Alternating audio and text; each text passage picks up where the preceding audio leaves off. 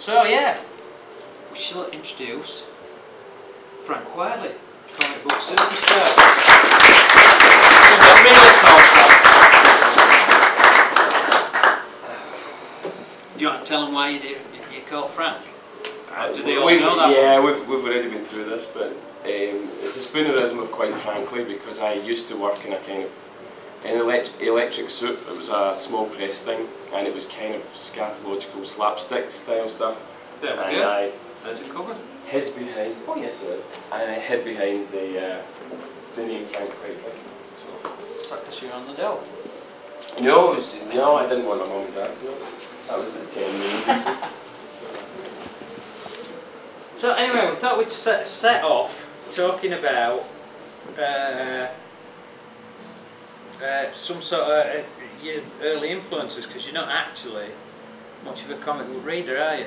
Which is quite rare in comics, isn't it? Yeah, I'm, I'm one of these rarities in comics that I didn't grow up reading 2000 AD and I didn't see any of the Star Wars films until first one I saw I was um, about I think I was in my early 30s when I saw the first one so um,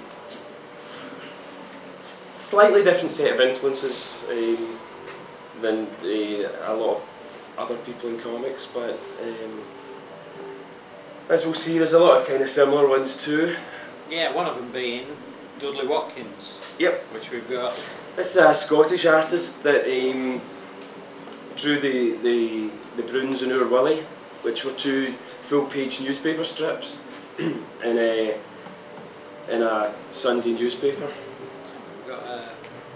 Um, and he was probably, he's certainly, he's certainly my earliest influence and probably my biggest influence um, in comic books.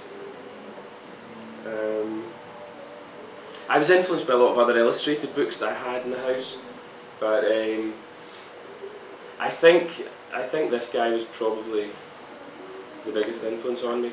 Um, I don't know how much I actually picked up um, storytelling wise from any of the artists that influenced me um, right up until I'd actually been working in comics for a few years because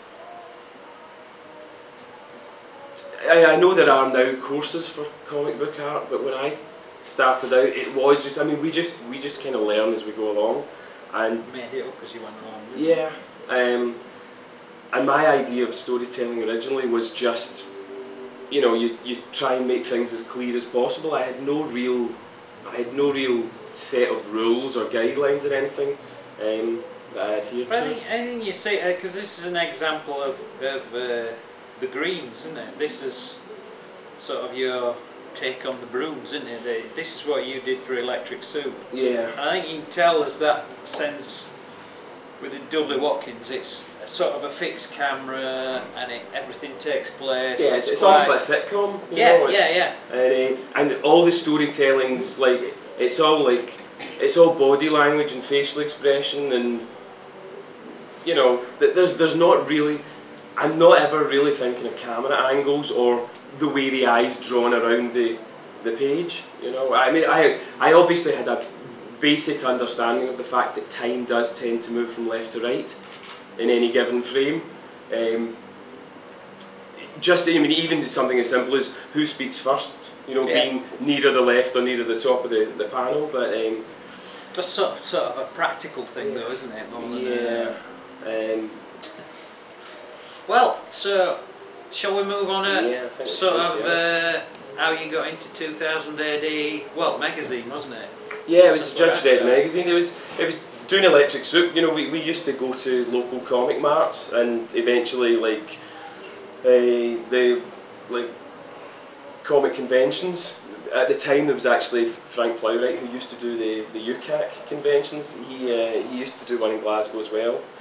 Uh, 1990 was the first one. So by that time, we'd been up and running for a year. And, we we would hire a table and we we would sell the comics at at the, the comic convention and people you know would say to me you should really you know you should think about doing this for money which sounded like a great idea because by that time I, I didn't really consider drawing comics. Oddly enough, although I liked comics, I never really thought of drawing comics as a as a job. I thought book illustration or maybe poster design or something was. Is the, that partly because you didn't feel like you were a, a proper comic artist in some sense? Well, yeah, th- there is that thing when you're in the small press, especially the humour side of small press, that you know, you, I didn't really feel part of that club. And there used, there used to be, I think there used to be a big schism that we might not be aware of these days between people who did maybe superhero comics in 2000 AD and there was thought to be, I don't think as much in this country as there was in the States, but there was Yeah. definitely a,